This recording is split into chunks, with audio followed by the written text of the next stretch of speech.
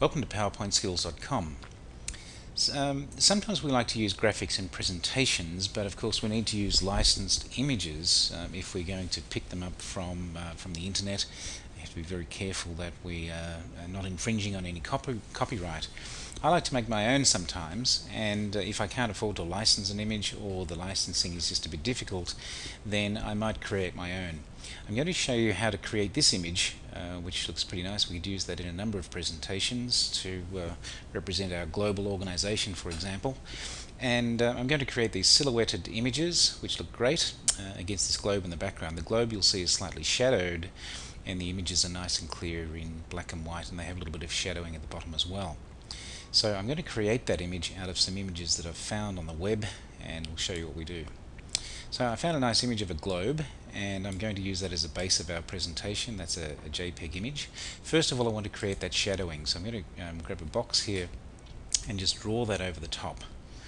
Now when I do that um, I'm going to say I don't want any outlines. I'm going to take any um, outline away from that. And when I go into shape fill, I go into gradient. And what I want is a, a, light to dark or dark to light gradient here. Now if I go back in and uh, back in my gradients and give me more information about gradients, because that's obviously not going to work, I can see that I have a number of gradient stops. I have three. Um, the first one is a, um, is a blue color the second one is a lighter blue and the third one is even lighter again. You can see the colouring there. What I'm going to do is I'm going to go to stop 2 and I'm going to make that white. I'm going to go to stop 3 and make that white. Back to stop 1 and I'm going to remove that. So now I have white to white in my gradient. Now what I'm going to do on stop 1 is I'm going to move um, both of these to 100%. So I'm going to say move this to 100% and transparency to 100% and then on stop 2 move that back to 0. So 0 transparency and um, 0 coloring, 0 stop position. So you can see now I have my nice gradient here and I can move that up to get the right amount of uh, shadowing and there I have my, my globe.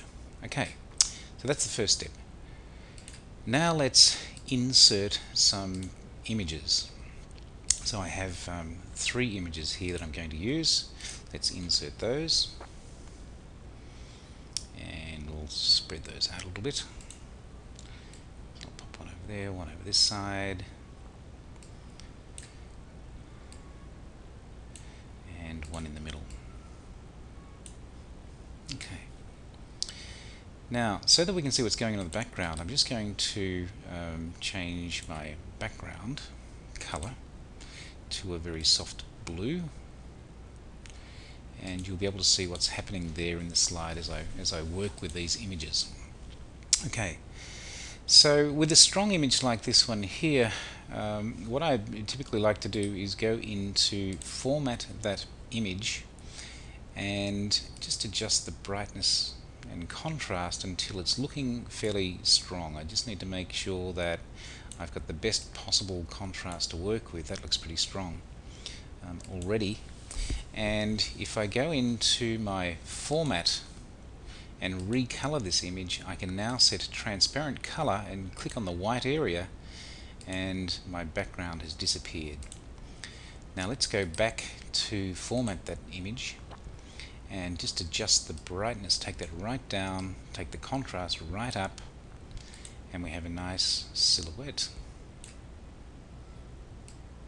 Okay. Now let's take a look at image number two. Let's do the same thing. So let's um, just adjust the uh, formatting of the image. Pull the brightness down a little bit maybe and the contrast up a bit just to blow out um, any detail that might still be in, be in the background. So um, in this particular image you can see a little bit of shading down there. I want to try and blow that out before I choose to delete the background color. So get the contrast up again and make that as strong as I can like so. Now if you had to recolor this and set my transparent color, ooh, it didn't quite work. See that? So what I do then, I'll just undo that. if you have that, um, that little bit of background colouring again, just go back to your um, contrast uh, go back to format the picture, get that contrast of the image as strong as possible um, and pull that brightness down as much as you can so that you don't see any detail in that background and then copy that image and paste special paste it as a PNG file. Okay. Now I'll delete the, uh, the original. So there's our copied file. Now if I go to um, go back to format that image and recolor that set the transparent color we now have a fairly clean image as you can see here so now I can go back to my formatting and change my brightness pull my brightness right down and my contrast right up. And we've got some really nice um, imaging there. Okay so I'll just make that a bit smaller as well. Now my third image same kind of thing just bring up the uh, bring down the brightness a little bring the contrast up make sure it's nice and strong set my transparent color to white and that looks pretty good I'll go back to format that and just bring that uh, brightness down all the way down and my contrast all the way up and there we have it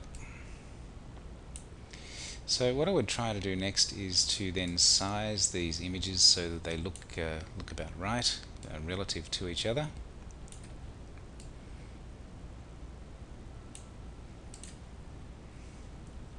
Just like so, just dragging and dropping on the corners. And I need to add a little bit of uh, little bit of shadow.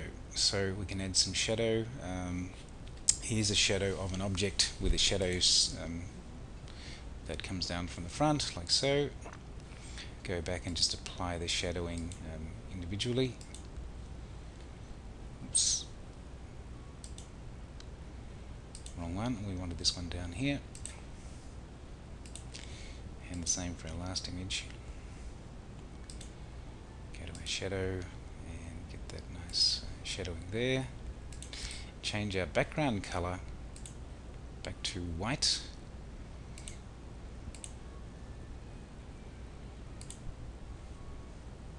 And there we have it, our own version of the slide uh, with four people in front. Um, we can move those around, we can add more, obviously we can resize them, but we can pretty much emulate the, the original image and uh, come up with our own version of that. Um, hopefully we're not infringing on anyone's copyright.